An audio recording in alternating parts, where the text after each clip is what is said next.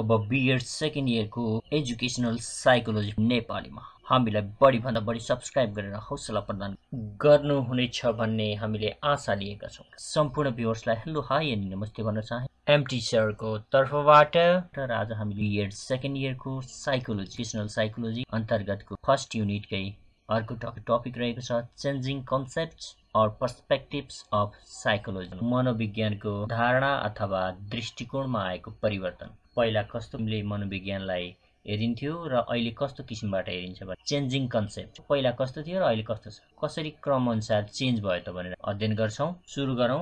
मनोविज्ञानको धारणा र अर्थमा आएको परिवर्तनको रूपमा हामीले लिएका छौँ यसलाई changing concept or perspectives of psychology भनेर। मनोविज्ञानको अवधारणा र मनोविज्ञ दृष्टिकोणमा आएको परिवर्तन। मनोविज्ञानको अर्थको बारेमा चारवटा फरक दृष्टिकोण रहेका छन् पूर्णहरू आत्माको विज्ञानको रूपमा मनोविज्ञान एउटा रहेको छ। Psychology as the science of soul मनोविज्ञानको शब शाब्दिक अर्थसँग अथवा शब्दको उत्पत्तिसँग सम्बन्धित छ। मनोविज्ञानको शाब्दिक अर्थको रूपमा मनोवैज्ञानिकहरूले यसलाई आत्माको अर्थमा परिभाषित गरेको पाइन्छ। आत्माको विज्ञानको रूपमा परिभाषित गर्ने दार्शनिकहरूमा डेमोक्रेटिस प्लेटो अरस्तु आदि रहेका छन्।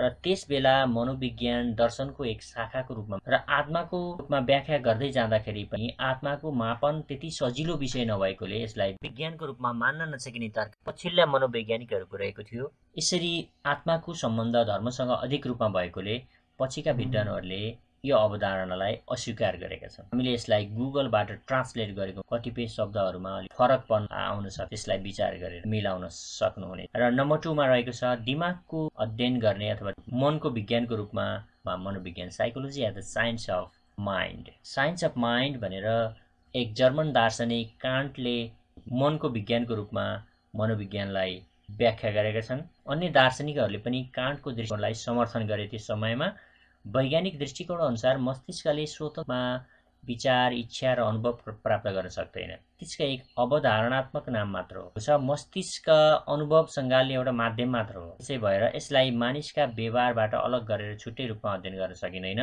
अधिक शरीर विज्ञानसँग सम्बन्धित छ। यसैले मनको विज्ञानको रूपमा मनोविज्ञानको विचारलाई पनि अस्वीकार गरियो धारणालाई पनि रिजेक्ट गरियो। नम्बर थ्रीमा रहेको छ चेतनाको विज्ञानको रूपमा मनोविज्ञान।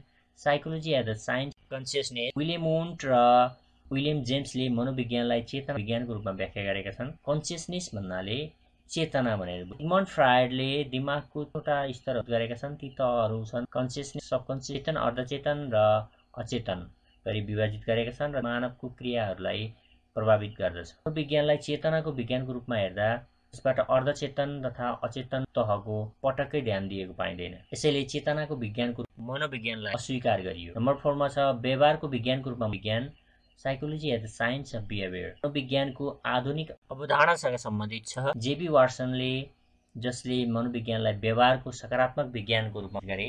र व्यवहार भन्ने शब्द धेरै व्यापक अर्थमा प्रयोग भएको पाइन्छ। बेन्जामिन एस ब्लुमले एक व्यक्तिको कुल व्यवहारलाई तीनवटा क्षेत्रहरूमा वर्गीकृत गरेका छन्। ज्ञान सिप र दृष्टिकोण तीन क्षेत्रको परिवर्तनको रूपमा मानव शिक्षा रहेको छ अथवा परिभाषित छ भनेर भन्छ एक व्यक्तिको व्यवहारमा मानसिक गति जस्तै अनुभूति सोच्ने क्षमता सम्झाउने क्षमता आदि रहन्छन् र भावनात्मक गतिविधिहरू जस्तै भावना भावनाहरूलाई अभिव्यक्त गर्ने आदि सामेल हुन्छन्।